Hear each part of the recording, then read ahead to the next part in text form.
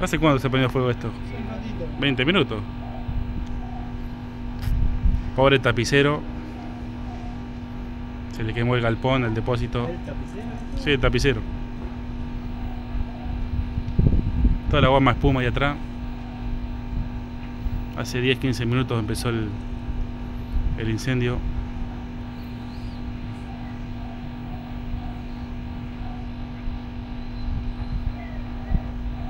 Esto es terrible.